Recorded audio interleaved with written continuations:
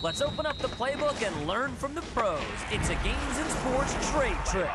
Hey guys, I'm pro tennis player Maria Sharapova.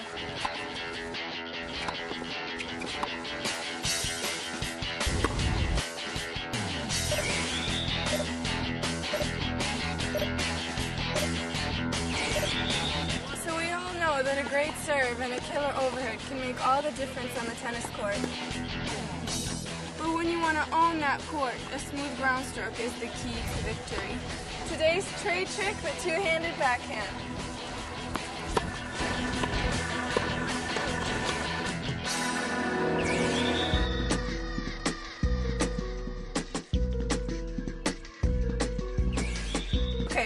First thing with the backhand is finding the right grip.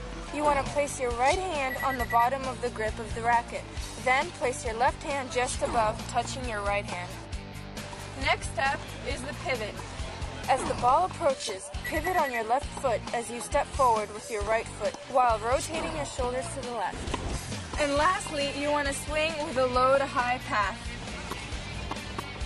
Leading with your right shoulder, follow through with the racket head pointed up at about a 45 degree angle to the net.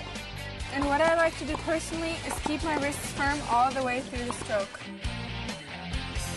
Okay, let's recap. First, you want to find the right grip. Next, as the ball approaches, you want to pivot. And lastly, follow through with a low to high path. And remember my tip, keep your wrists firm. So there it is, the two-handed backhand. Now take these tips to your favorite tennis spot and let's see what you've got. Keep watching the GAS for more trade tricks.